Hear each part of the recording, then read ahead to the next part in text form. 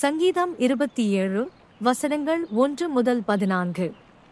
கர்த்தர் என் வெளிச்சமும் என் இரட்சிப்புமானவர் யாருக்கு பயப்படுவேன்? கர்த்தர் என் ஜீவனின் பலனானவர் யாருக்கு அஞ்சுவேன்?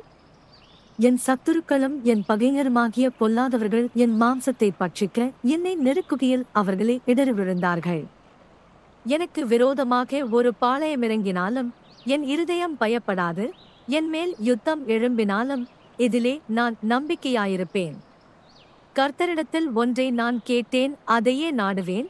நான் கர்த்தருடைய மகிமையை பார்க்கும்படியாகவும் அவருடைய ஆலயத்தில் ஆராய்ச்சி செய்யும்படியாகவும் நான் என் ஜீவனுள்ள நாளெல்லாம் கர்த்தருடைய ஆலயத்தில் தங்கியிருப்பதையே நாடுவேன். தீங்கு நாளில் அவர் என்னை தம்முடைய கூடாரத்தில் மறைத்து என்னை தமது கூடார மறைவிலே ஒளித்து வைத்து என்னை கண்மலையின் மேல் உயர்த்துவார். இப்பொழுது என் தலை என்னை சுற்றிலும் இருக்கிற என் சத்துருக்களுக்கு மேலாக உயர்த்தப்படும். அது நிமித்தம் அவருடைய கூடாரத்திலே நான் ஆனந்த பலிகளையிட்டு கர்த்தரை பாடி அவரை கீர்த்தனம் பண்ணுவேன். கர்த்தாவே நான் கூப்பிடுகிற சத்தத்தை நீர் கேட்டு எனக்கு இறங்கி எனக்கு உத்தரவு அருளி செய்யும்.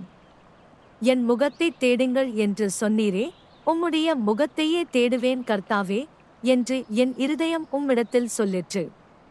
உமது முகத்தை எனக்கு மறையாதேயும் நீர் கோபத்துடன் உமது அடியேனை விலக்கி போடாதேயும் நீரே எனக்கு சகாயர் என் இரட்சிப்பின் தேவனே என்னை நெகிழவிடாமலும் என்னை கைவிடாமலும் இரும்.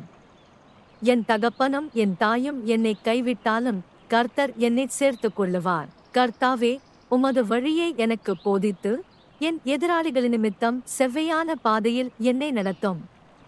என் சத்துருக்களின் இஷ்டத்துக்கு என்னை ஒப்புக்கூடாதேயும் பொய்ச்சாட்சிகளும் ஆக்கிரமித்து சீறுகிறவர்களும் எனக்கு விரோதமாய் எழும்பியிருக்கிறார்கள். நானோ ஜீவனுள்ளோர் தேசத்திலே கர்த்தருடைய நன்மையை காண்பேன் என்று விசுவாசியாதிருந்தால் கெட்டுப் போயிருப்பேன். கர்த்தருக்கு காத்திரு அவர் உன் இருதயத்தை ஸ்திரப்படுத்துவார் திடமனதாயிருந்து கர்த்தருக்கே காத்திரு. சங்கீதம் இருபத்தி ஏழு வசனங்கள் ஒன்று முதல் பதினான்கு.